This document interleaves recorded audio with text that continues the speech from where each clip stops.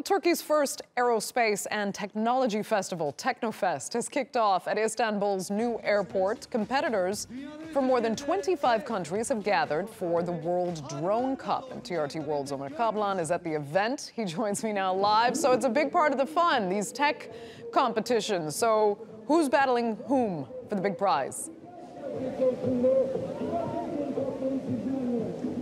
Absolutely, Andrea. And because, as you mentioned, it is the first aerospace and technology competition to be held in the country, there is a lot of excitement. And there are numerous technology related competitions on the way today.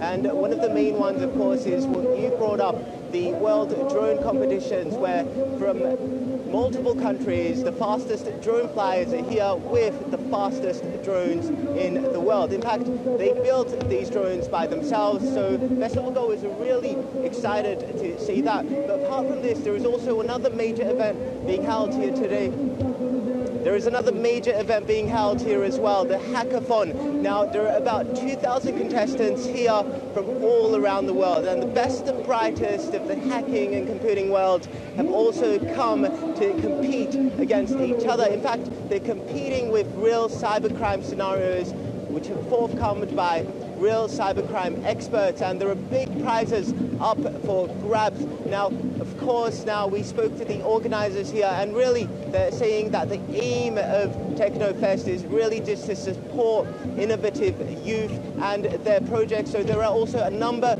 of workshops here, and festival goers can also see on showcase a lot of high-tech equipment.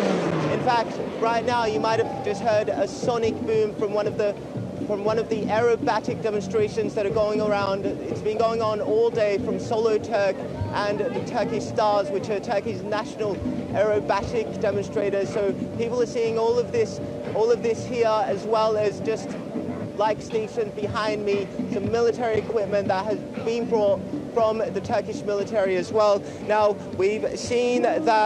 But Omer, let me ask you, uh, I think uh, equally exciting... is also Equally exciting is, is it's being is the venue itself. All this is taking place at Istanbul's new airport. Tell us a little bit about the atmosphere there.